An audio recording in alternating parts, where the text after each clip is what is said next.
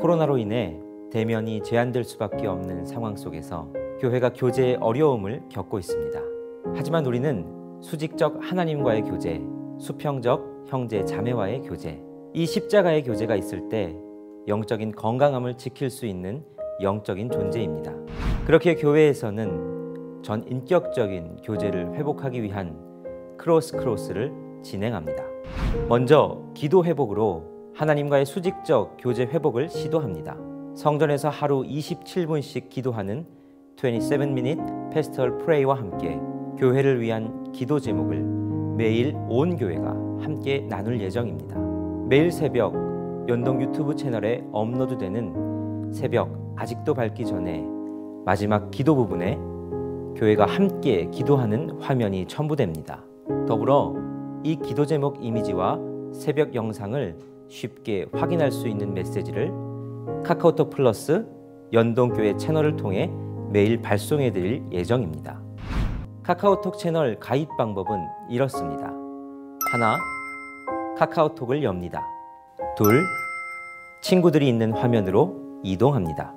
셋, 상단에 있는 돋보기 버튼을 누릅니다.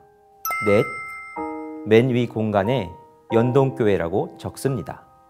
다섯, 교회 로고 우측에 채널 플러스 버튼을 누릅니다. 여섯, 마지막으로 채널 더하기 버튼을 눌러주면 채널 가입 끝. 일곱, 지금 보이시는 화면이 뜨면 가입 완료되었다는 뜻입니다. 다음은 성도 간의 수평적 친교 회복을 위해 그동안 멈춰 있던 구역 모임을 온라인으로 시범 운영합니다. 먼저 구역 지도자 모임을 줌으로 진행합니다. 위임 목사님을 모시고 교구 목사, 지역 담당 장로, 권사, 총무, 구역장이 함께 각 교구별로 모입니다.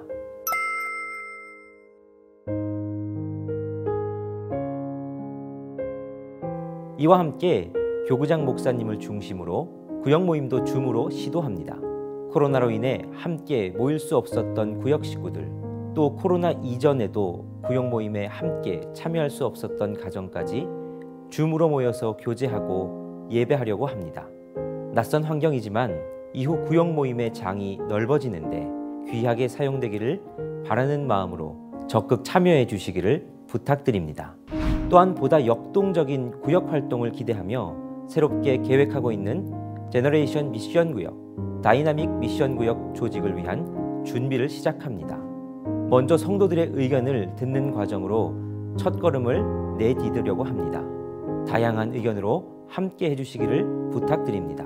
코로나라는 제한적인 상황 속에서도 하나님과의 교제, 성도 간의 교제가 계속되는데 크로스 크로스가 귀하게 쓰임 받을 수 있도록 함께 기도해 주시고 동참해 주시기를 바랍니다.